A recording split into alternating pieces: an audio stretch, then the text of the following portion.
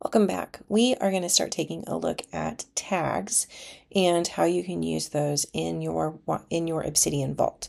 There are a lot of different plugins and things that you can use with tags to extend the basic functionality of tags, but as we typically do, we're going to start here with the basics of tags.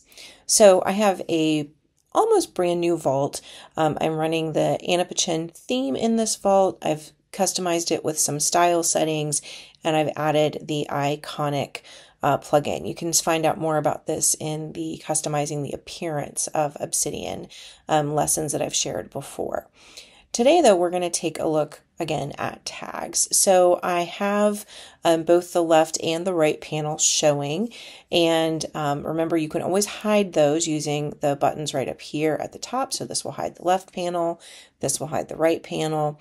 I can also expand or contract those using the hotkeys of the left and right arrow buttons if I program those, which I haven't done in this vault. So let's look at how to do that. I'm going to open the settings. I'm going to open the settings by, I used the command comma because I'm on a Mac.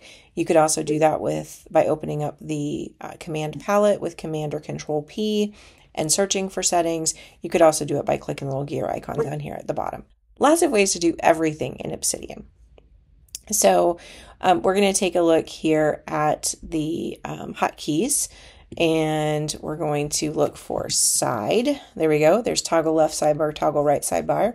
I like to use, I'm going to hit the plus sign for the left. I like to use command left and for the right, I like to use command right. You could make those whatever you want them. And now I can control those with my keyboard. So much nicer. All right, so again, everything in Obsidian can be customized, which is great. So I have a brand new note here using the daily note template. Again, to fire that off, I just did Command P to open up the command palette.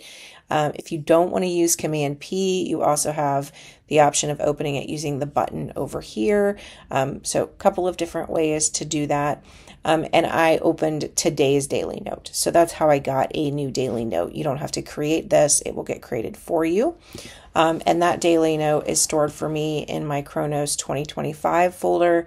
I set those settings in the daily note core plugin settings. So everything's going to this Kronos 2025. I don't have a template set up for this. I don't need it for this demo.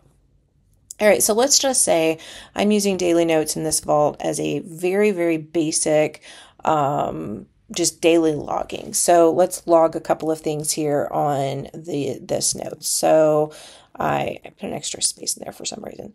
Um, I updated my accounts in YNAB. So what I did there is I typed a hashtag, no space, and YNAB, and it turned it into a tag. And, and I'm going to bring the tag explorer up here. I'll show you that in a second. And um, and paid mortgage. And then I had a meeting regarding the website design. Whoops, I did not mean to put a space in there.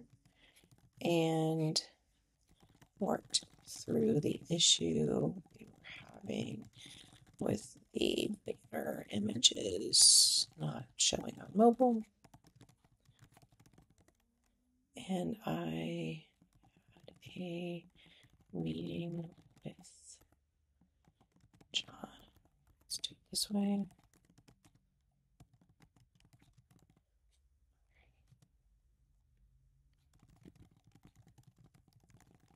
I've added in some text to this note so that you can see how the tag viewer works in YNAB by default.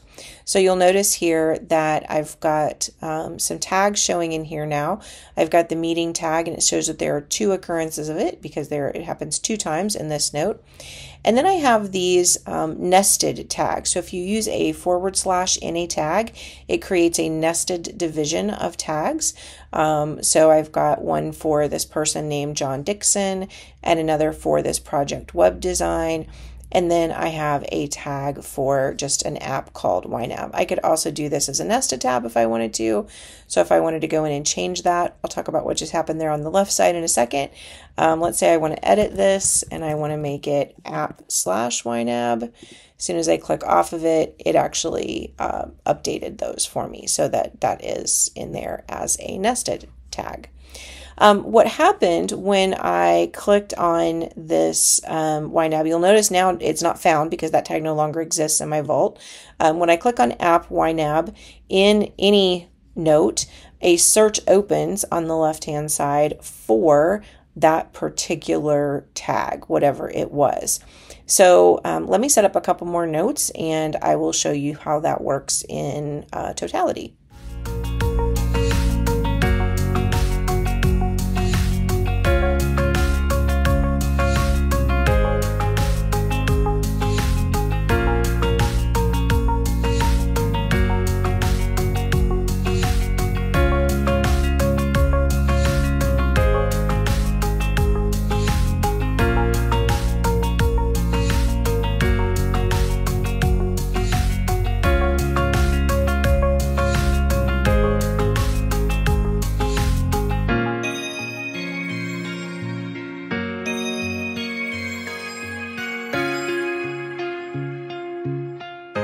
Okay, so I've got some new notes in and you can see that my tags have uh, further expanded over here on the left. Not a lot of new tags, although I have added this tag for Jenna, um, who is a fictional child in or fictional child in this um, in this vault and want to show you some of the things that you can do again just with vanilla obsidian without many plugins or things in it so I've created a um, a page for this Acme project proposal, and I've put in a, this tag that goes along with this project for Acme contract. This is something that I actually do a lot in my vault. Um, I have a project tag that then has the name of the project nested under it. And so if I click on this tag, again, it's going to open up those search results and show me um, all of the pages that have that tag in them. I can always link to those results if I want to, or I can bookmark this search if I want to run it again. So there are lots of options for using tags as a search tool. When I am looking at the, the search results, I also have the ability to copy them. Um, and so that's how I copied these um, and I pasted them here, and that gave me a link to all of the places where this Acme project, the Acme contract is mentioned. So I can quickly go back through those if I want to. Um, in addition to having um, the search run from here.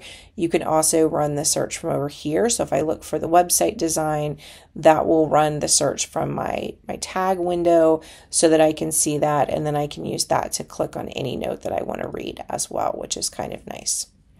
Um, let's take a look at Jenna and see how we could use these for a person. One of the nice things is I can quickly scan through these notes and just read them. So um, if you want to make this bigger so that you can read it more easily, you can do that. Think about how you could use this for maybe a sentence a day kind of journal um, so that you could just see all of those right there in a list. You don't even have to add them into a note. They're always there if you want them. And as long as you're just using a lot of text files in your vault, the vault runs pretty fast, so it's a nice, easy way of doing that. You could even build in a little template into your um, daily notes page so that it already had that tag in there to remind you to put that in if you wanted to. Um, you also can, let's go ahead and close that and go back here. You also can um, sort your tags in a couple of different ways over here in the sort order. Um, I can tag them A to Z, I can tag them Z to A, and remember they are by the nested type. This is one of the reasons I like using the nested tags. It keeps them in those category orders. Um, you can also list them by um, frequency, how often they occur, um, as well as low to high. This can be really useful as your vault gets bigger. If there are tags that you're no longer using, you might want to go through and consider deleting them. Tags are cheap. I don't do that, um, but you do have that option if you want to. I'll put it back to A to B, which is my preferred. Um, if you don't want to see the nested tags, you can turn them off, and that lists everything as its own tag um, rather than seeing them nested. So you do have that option. Um, and you also have the option to collapse and expand. So this acts like a toggle, um, this third button to collapse and expand. And then finally, you can just search within your tags. So maybe while we have them closed here, or like in my vault, I have a lot of tags. You might want to know, do I have a tag for Jenna? And it'll show you, hey, that's under person. And if you expand that out, you'll find the Jenna tag there, which you can see. So tags by default in Obsidian have a lot of real uses. In the next lessons in the course, we're going to take a look at some of the ways that you can expand those uses using some of the community plugins.